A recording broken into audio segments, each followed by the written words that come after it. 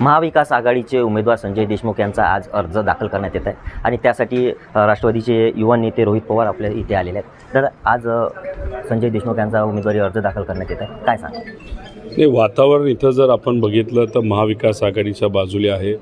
कार्यकर्ते मनापासून काम करतायत. लोक हे संजय देशमुख साहेबांच्या पाठीमागे असं एक कुठंतरी एक चित्र इथं आल्यानंतर आपल्या सर्वांना बघायला मिळतं आहे आणि या वातावरणामध्ये विश्वास वाटतो येत्या काळामध्ये इथं महाविकास आघाडीचाच खासदार झालेला आपल्या सर्वांना बघायला मिळेल.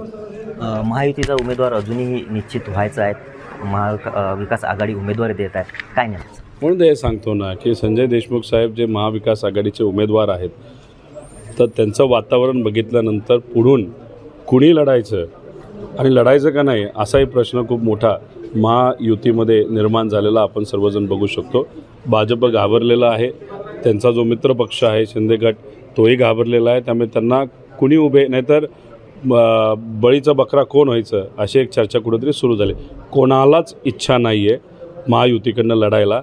आता जो कुठला उमेदवार उद्या परवा जाहीर होईल कदाचित त्याला इच्छाच नसेल खासदार बनायची तरीसुद्धा त्यांना त्यांचं नाव हे पुढं आणलं जाईल. त्यामुळे लोकांनी तिथं निर्णय घ्यावा.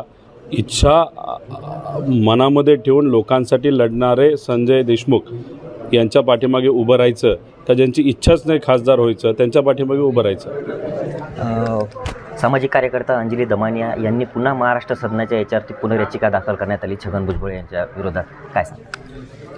कदाचित प्रफुल्ल पटेल साहेबांना साडेआठशे कोटी घोटाळ्यामध्ये सी बी आयकडनं क्लीन चिट ही भाजपबरोबर गेल्यानंतर मिळाली आणि ते ती गोष्ट बघितल्यानंतर दमानिया ताईंना असं वाटलं असेल की इतरही जे सर्व नेते आहेत जे कुठंतरी भाजपच्या रडारवर होते नाही तर भाजपली त्यांच्या विरोधात भ्रष्टाचाराचा आरोप केला होता ते परत सुटू नये म्हणून कोर्ट जे कुठंतरी न्यायप्रविष्ट नसतं कुठंतरी सगळ्यांना विश्वासात घेऊन तो निकाल देतं. त्यामुळेच कदाचित ते कोर्टामध्ये गेले असावे असं वाटतं.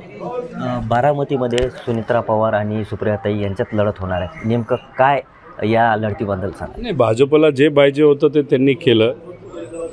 खांदा हा आपल्यातलाच एक व्यक्ती आता जो भाजपबरोबर गेलेला आहे.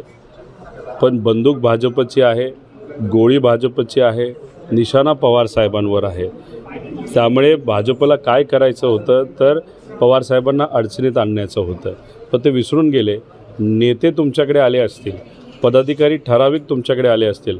पण लोक आणि खास करून स्वाभिमानी लोक अजून बरोबर अजून पण पवार साहेबांबरोबर आणि त्यांच्या विचाराबरोबर आहेत. त्यामुळे तिथं भाजपला जे करायचं ते त्यांनी केलं. आता लोक लोकशाहीच्या माध्यमातून सुप्रियाताईंना तीन लाख मताधिक्याने निवडून देतील असा विश्वास वाटतो. निश्चितच आपण जर पाहिलं तर मतदार हे पवार साहेबांच्या सोबत आहेत आणि आगामी लोकसभेमध्ये लोक त्या निवडून देतील असा विश्वास त्यांनी व्यक्त केला आहे निलेश फाळके एबीपी माझा यवतमाळ. एबीपी माझा. उघडा डोळे बघा नीट.